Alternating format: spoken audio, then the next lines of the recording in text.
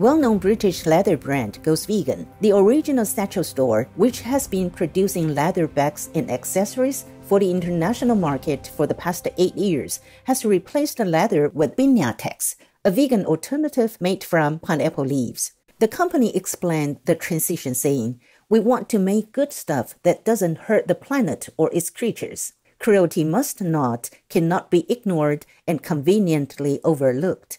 Developed by Spanish designer Dr. Carmen Hijosa, Piñatex is a trendy material used by companies such as Hilton Hotels, fashion label Hugo Boss, and footwear brand Scoots. Continuing to produce high quality items, the original satchel store now proudly displays a PETA, People for the Ethical Treatment of Animals, approved vegan certification on its website. A standing ovation and many cheers. The original Satchel Store. Heaven's blessings for your benevolent change. In celestial radiance, may our world soon see compassion as the pillar supporting a love-filled planet. Supreme Master Ching Hai thankfully present the original Satchel Store the Shining World Compassion Award with high praises, best wishes, and love in God's mercy.